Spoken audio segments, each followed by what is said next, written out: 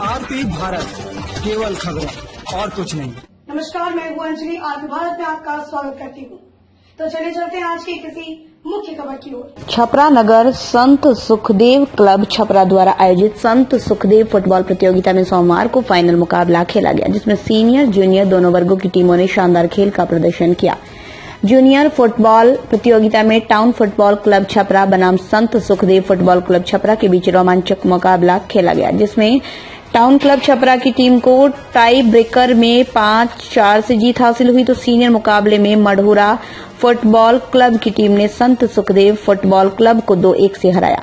पूरे मैच के दौरान खिलाड़ी जहाँ गोल के लिए जद्दोजहद करते दिखे तो दर्शक भी उनका हौसला बढ़ाने में कोई कोर कसर नहीं छोड़ी। मैच उद्घाटन सारण जिला जदयू के सदस्य सह आयोजन समिति के अध्यक्ष सत्य प्रकाश यादव, संत सुखदेव इंटरनेशनल स्कूल के निदेशक सह कार्यक्रम सचिव मुन्ना सर, अन्य गणमान्य व्यक्तियों ने खिलाड़ियों से परिचय प्राप्त करके किया। प्रतियोगिता में विजयी टीम को सारण जिला पुलिस अधीक्षक संतोष कुमार द्वारा सम्मानित किया गया। उन्होंने उपस्थित युवकों को खेल प्रतियोगिताओं में बढ़ चढ़ कर हिस्सा लेने की बात कही। उन्होंने कहा, अपने आसपास की हर नकारात्मकता को दूर करने के लिए खेल आवश्यक है। इससे शारीरिक और मानसिक तनाव दूर होता है, विकास भी होता है।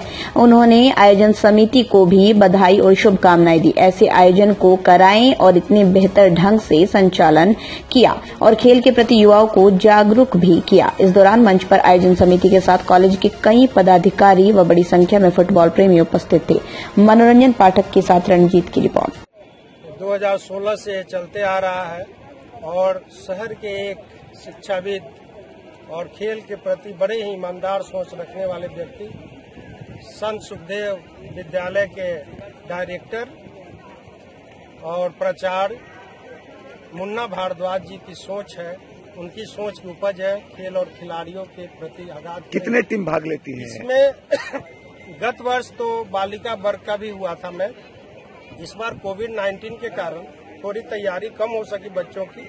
इसलिए इस बार जूनियर और सीनियर वर्ग के बीच ये फाइनल मुकाबला खेला गया। जूनियर वर्ग में टाउन क्लब, छपरा और संत सुखदेव क्लब छपरा के बीच खेला गया, जिसमें टाउन क्लब छपरा पाँच के मुकाबले चार गोल से जीती ट्राई ब्रेकर में। और अभी सीनियर वर्ग में मरौरा फुटबॉल क्लब और संत सुखदेव फुटबॉल क्लब। ये खूबी देखिए कि क्या मैसेज है तुम लोग सबसे पहले मैं जो दार्शनिक लोग थे, उनको मैं स्वागत करता हूँ, जो इतने नमन और ज़्यादा समय देकर के हमारे टीम का मैच देखे। हमारा टीम टाउन क्लब राज्य स्तरीय टीम में कुछ अहम भूमिका निभाता है। उसी टीम से हम लोग आते हैं। हमेशा हम लोग इस ग्राउंड में हावी थे। कुछ कारणवश फ़ील्ड में ज़्यादा कठोरता के कारण हम लोग अब में चले गए। देर से थोड़ा पहुँचे। हमारे अतिथि चंद्रिका पर्वत जी को मैं कि बच्चे स्वस्थ रहेंगे तो अच्छा करेंगे।